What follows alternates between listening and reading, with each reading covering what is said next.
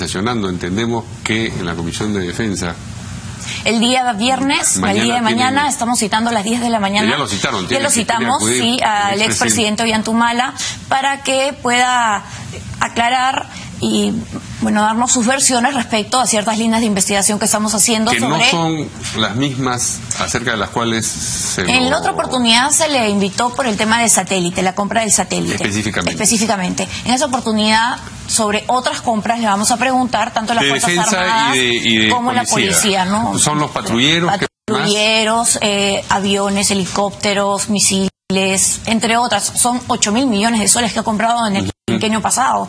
Es prácticamente lo que dicen que va a permitir reconstruir nuestro país frente a toda esta emergencia y esta, esta crisis que estamos viviendo en, estos momentos. Entonces, eso es lo que se le va a preguntar. También si ha habido algún tipo de injerencia política, participación en el tema de los ascensos.